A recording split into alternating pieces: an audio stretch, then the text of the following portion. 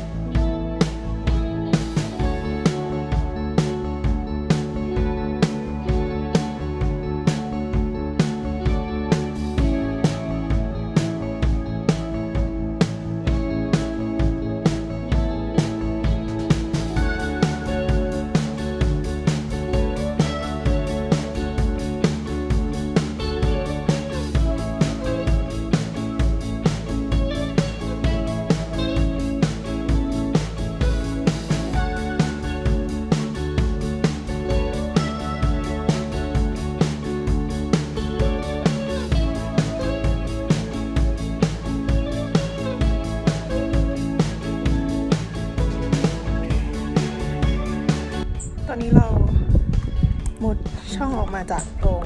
Turtle Rock ที่อุทยานเทเรลจ์และนี่คือวิวข้างหลัง